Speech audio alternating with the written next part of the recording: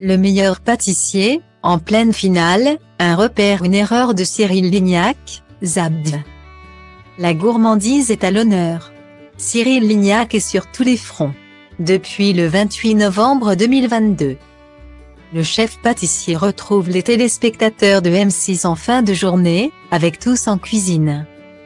En direct, il donne de sa personne pour réaliser une recette gourmande et accessible pour tous. En compagnie de Jérôme Anthony, il est en visio avec une célébrité, comme Issa Doumbia. Le 2 décembre 20222. Un invité qui aura marqué les téléspectateurs. Depuis le mercredi 7 septembre 2022, MC diffuse la 11e saison de son programme Le meilleur pâtissier. Cyril Lignac retrouve ainsi sa complice, Mercotte. La juge de l'émission a d'ailleurs profité de cette fin de saison pour répondre aux critiques concernant son épreuve. Après des finales sur le thème de Noël, l'année dernière, M6 annonce une finale royale.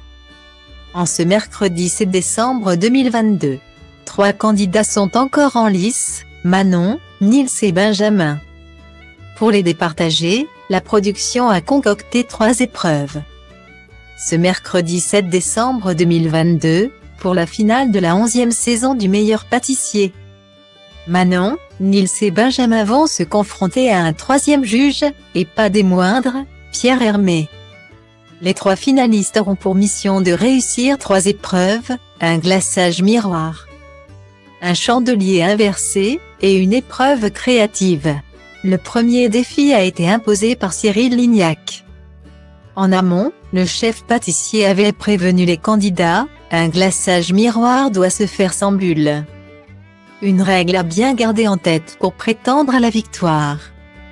Pendant que les trois finalistes tentent de réussir leur glaçage, Cyril Lignac a présenté à Mercotte ce qu'il attendait des candidats. Il présente alors un gâteau avec un glaçage rougeâtre. Il faut que ce soit lisse. Que l'on puisse se voir dedans, commente alors le chef pâtissier. Mais les internautes ont l'œil vif. Sur Twitter, un internaute publie alors une photo du gâteau de Cyril Ligne, avec des bulles. Or, il avait été très clair dessus, un glaçage miroir doit se faire sans bulles. Bah alors Cyril, un glaçage miroir doit se faire sans bulles? C'est quoi ça? Partage ainsi un internaute.